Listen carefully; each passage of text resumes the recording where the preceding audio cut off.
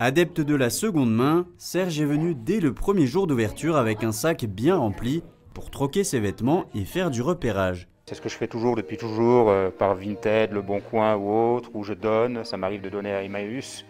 Enfin, chez nous, c'est une culture dans notre maison et euh, rien ne se jette. Tout est recyclable. Ce qui nous touche, par exemple, il y a trois jours de ça, ma fille a donné des vêtements à une petite fille qui n'a pas, visiblement pas beaucoup d'argent et elle a eu la chance d'avoir une robe pour Noël et pour Nouvel An grâce à ma fille. Donc nous, on est content de ça. Quoi. Ça permet de faire plaisir à quelqu'un et euh, on se fait un tout petit peu de monnaie, mais c'est même pas le but. Quoi. Charlie, elle, est déjà cliente à Nancy. Elle est venue spécialement à Metz pour trouver son bonheur et découvrir de nouveaux produits.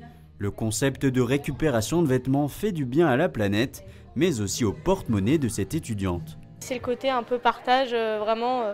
Euh, c'est le côté on y va, on ne sait pas ce qu'on va trouver. Et c'est ce qui est sympa en fait, c'est de repartir avec son petit trésor et, et puis bah, de pouvoir offrir à certaines personnes aussi des vêtements qu'on met plus, qui peut-être n'auraient pas pu s'offrir, ou que c'est vrai que ça change beaucoup la mode. Donc pour les personnes qui veulent se mettre à jour, bah, c'est le moyen de, se faire plaisir et puis bah, de pas trop dépenser du coup.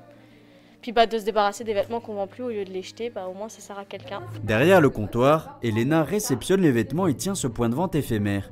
C'est elle qui gère la boutique et la navrine à Nancy avec sa sœur. Et ici, les conditions sont les mêmes. Chaque article vaut 3 euros et un vêtement rapporté égale un vêtement acheté. Avec 3 règles d'or, un vêtement taille adulte, en bon état et de saison. Histoire de donner une seconde vie à tous ces t-shirts et ces pantalons.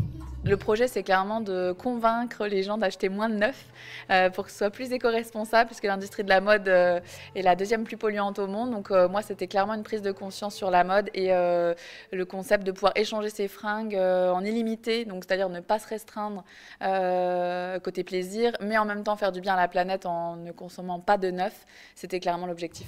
Cette boutique éphémère restera ouverte du mercredi au samedi jusqu'au 4 décembre. Et si vos placards débordent de vêtements que vous ne portez plus, rien ne vous empêche de venir accompagner pour vous aider à refaire votre garde-robe ou au moins à porter votre sac.